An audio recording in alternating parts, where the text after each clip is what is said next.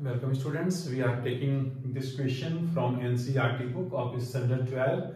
Topic is probability.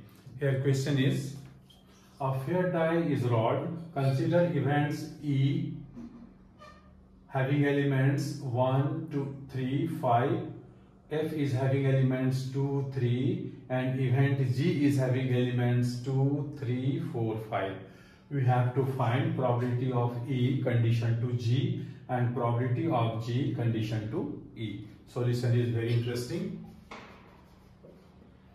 What will be sample space here? We can get sample space with the help of this statement. A fair die is rolled. So as we know, a die is having six faces, numbering 1, 2, 3, 4, 5, 6. Okay. So elements are 1, 2, 3, 4, 5 and 6. So therefore here ns, ns means number of elements in this sample space is 6, correct? Now we have to find out probability of E condition to G. So formula for E, uh, probability of E condition to G will be probability of E intersection G divided by probability of G.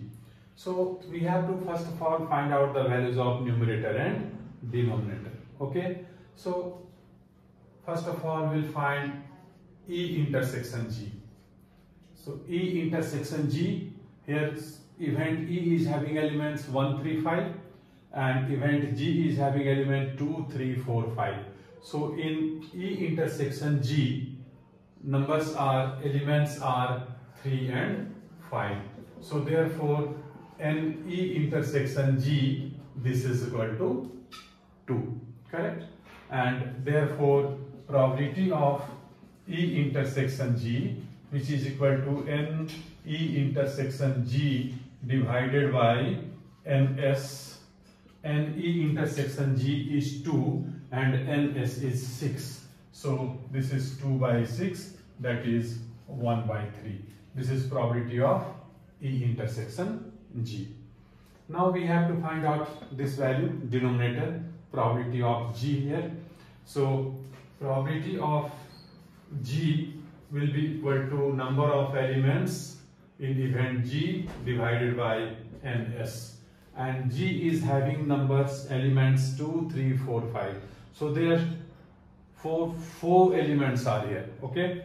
So this is equal to 4 divided by 6 this is 2 by 3. So probability of G is 2 by 3. Now with the help of this formula, we can get the result very easily. So probability of E condition to G which is equal to probability of E intersection G divided by probability of G and probability of E intersection G is 1 by 3 upon probability of G is 2 by 3. So finally we are getting 1 by 3 into 3 by 2 and this is equal to half is the answer for probability of E condition to G. Similarly also we can find out probability of G condition to E. The formula will be this is equal to probability of E intersection G divided by probability of E. Probability of E intersection G, this numerator we have got here, 1 by 3. Now let us find probability of E. So E is having elements 1, 3, 5, 3 elements. Okay. So here probability of E is equal to NE divided by NS and NE is equal to 3 because three elements are here. So Ne is equal to 3 and Ns is 6. So this is equal to 1 by 2. Correct? So probability of E intersection G is 1 by 3 divided by probability of E is half 1 by 2. So finally we are getting the result. This is 2 by 3. This is the answer for the this part. So solution is not difficult, simple, just uh, remember this formula and uh, remember the formula for getting the probability of numerator and denominator and put this value simplify will get the result very easily.